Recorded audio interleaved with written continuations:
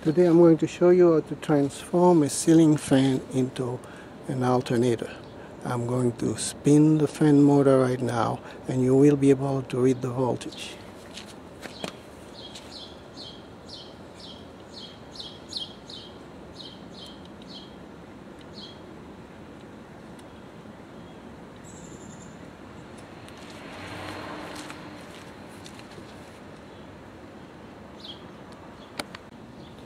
I will now give you the basic details of this simple transformation.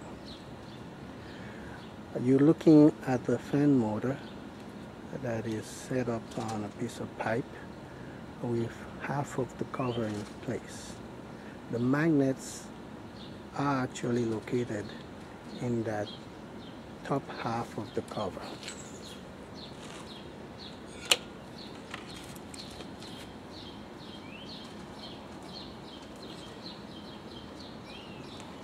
So basically,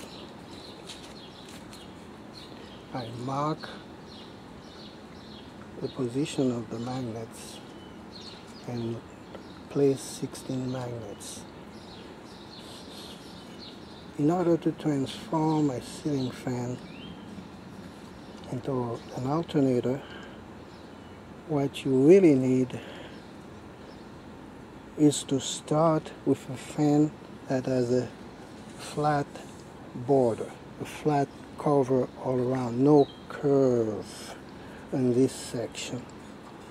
Then once you remove the rotor and uh, you're left with that gap, you measure the gap and make sure that you purchase magnets that are less than the gap between the cover and the stator uh, you should really spend you know, some time locating the right magnet because if you locate the right magnet you will not need you will not need to add a ring like uh, a lot of people are doing on the internet. As far as which wires to tap for your power there are two sets of wires two pairs I only tap one of them. I believe it's the one that's connected to the coils that are on the outside. And uh, if you want to get more fancy, you, you have to watch more videos on the internet. Myself, all I did is I purchased the right magnet and I glued them to the cover and I got electricity.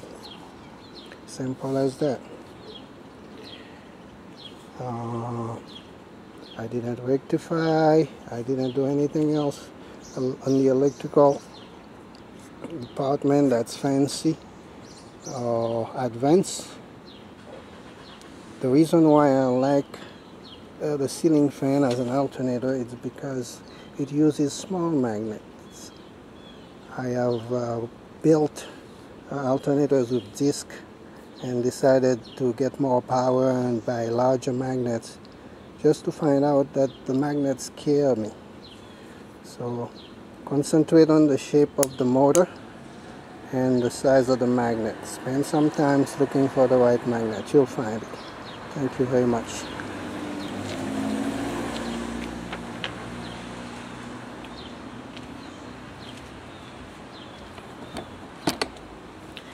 I would like to say a few words about BP. It appears that people are spending a lot of time guessing how much oil is coming out of the pipe. As far as I'm concerned, BP gave us that number long ago when they made the plan for the well. The engineer chose a pipe of a given diameter and they knew how much pressure was in the well. Therefore, we should all go back to these original numbers. Once they cut the riser pipe, it was back to square one. So no more guessing game. These numbers are good as any. The one that we are at the planning phase. Thank you very much. Enjoy your electricity.